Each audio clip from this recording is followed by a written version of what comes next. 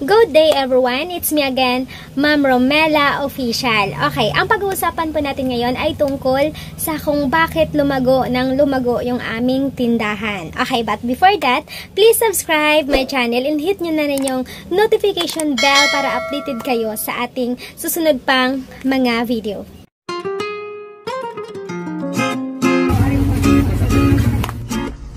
So, ang daming napahanga at nagulat kung bakit daw ang bilis ng paglago ng aming tindahan. So, nagsimula po kami sa bangketa, sa maliit na bangketa. At aming puhunan ay hindi uh, lalagpas sa 30,000. Okay, so ngayon yung 30 30,000 namin ay umabot na po yan ng uh, ah, 5 branch. Okay, at syempre nakapagpatayo pa po kami ng bahay namin at may, may meron po kaming mga uh, naipundar pa na mga gamit. Okay, so paano nga ba namin ito napalago ng gusto? So ginawa namin yung lahat ng best namin na para lumaki or lumago yung aming pinuhunan na 30k na yung aming bangketa na parang wala na kaming malagyan ng aming mga stocks. So doon na. Doon na kami nag-start na kumuha ng another pwesto.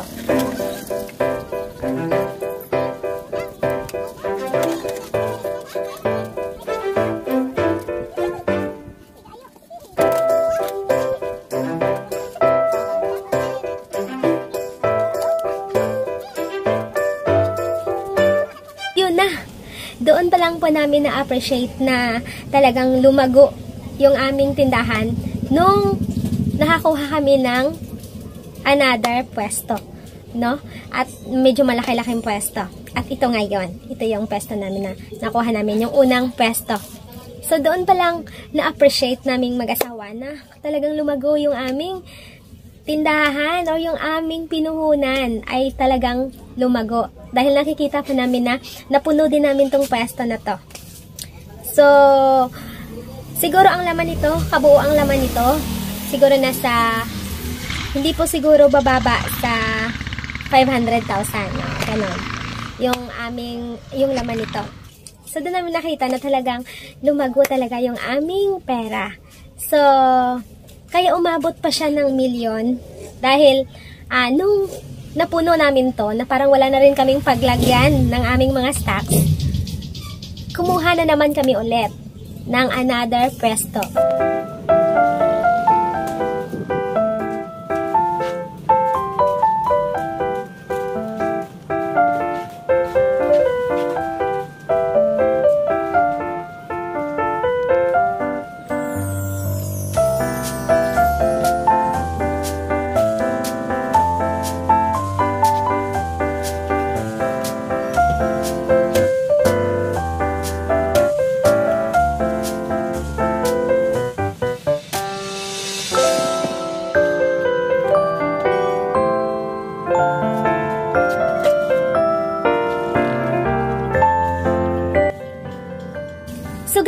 Guys, ang dapat nating gawin, no? Kapag uh, nagpatayo pa tayo ng uh, tindahan at nakita natin na uh, ang dami na nating stocks, no? Dapat uh, mag-ano tayo, mag-invest tayo ng ibang negosyo na naman. Or gusto mo katulad pa rin ng negosyo mo, pero uh, kailangan mo talagang mag uh, mag-invest, no? Dahil doon pala is uh, lalong lalago yung iyong pera. No? Dahil kapag tinago mo lang yan sa bangko, uh, maliit yung interest. Pero pag uh, ininvest mo yan sa negosyo, malaki yung balik. No? Malaki yung tubo, tutubuin ng pera mo. So, yun ang ginawa namin. Nag-invest kami na nag-invest. Doon namin nakita na talagang ah, uh, yung pinuhunan mo noon ay uh, isang pwesto mo lang. Makukuha mo na sa isang pwesto mo lang.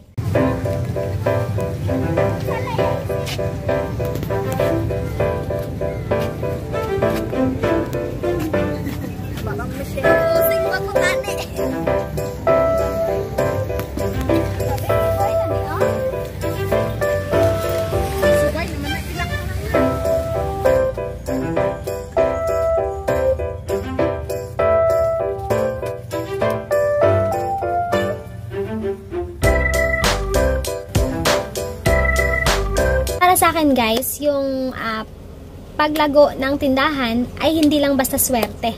Ito ay pinaghihirapan. No? Kasi nga, ika nga sabi nga nila, nasa Diyos ang awa, pero nasa tao ang gawa. Yun.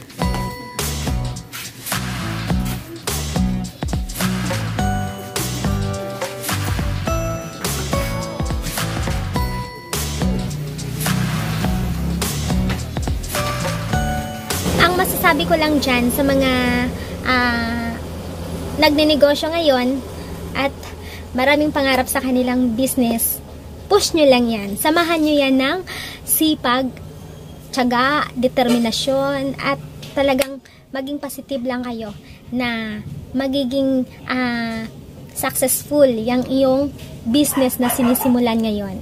Kasi dyan kami galing guys, walang imposible kapag ikaw ay masipag, uh, determinado ka na talagang uh, makamit yung yung minimithi na maging or lalago yan.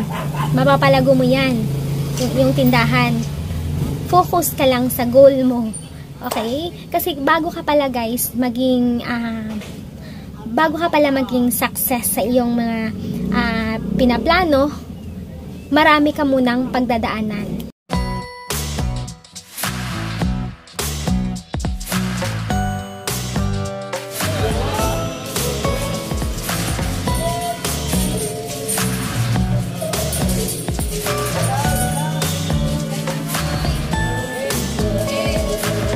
huwag tayong gagawa ng mga bagay na makakaapekto sa ating negosyo. Meron po akong ikwento sa inyo. Kasabayan din namin sila sa negosyo. Okay, halos magkaparehas po kami ng laki ng tindahan. Lalo na dun sa pangalawa nilang tindahan. O, di ba Nagkaroon pa sila ng brand. Alam nyo ba guys na hindi talaga namin in-expect na malugi yung kanilang tindahan. So, ang pagkakamali po nila ay isinabay nila sa pag uh, isinabay nila yung pagpagawa ng bahay nila sa kakaag or nagsisimula pa lang na pausbong or paglago ng kanilang tindahan. Yun.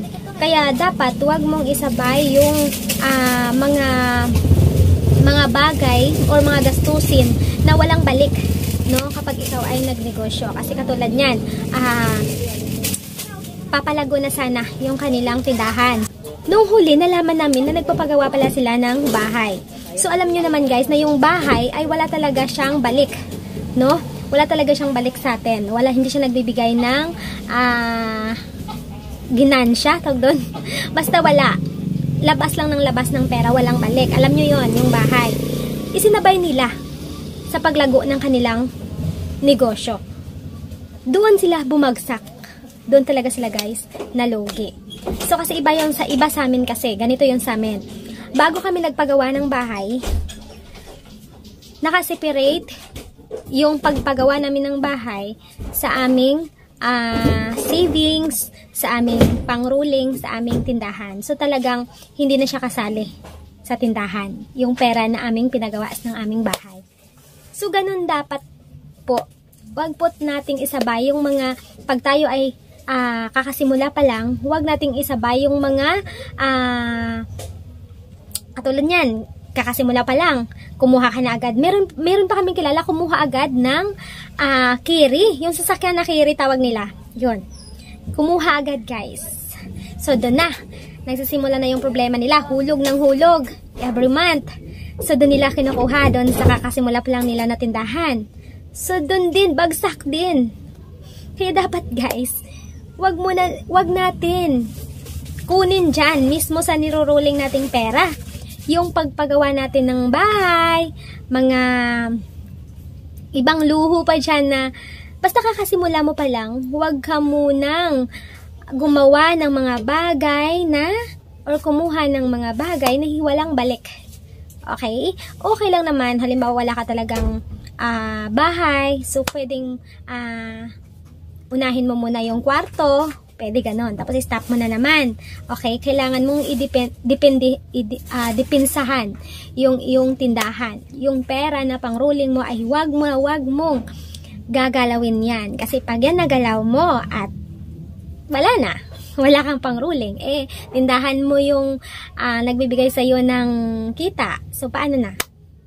So, wag talaga nating papakialaman yung ating niro-rolling na pera or pera ng tindahan na para sa tindahan. Wag na wag mong gagawin yon. Diyan talaga nalugi yung mga uh, karamihang negosyante.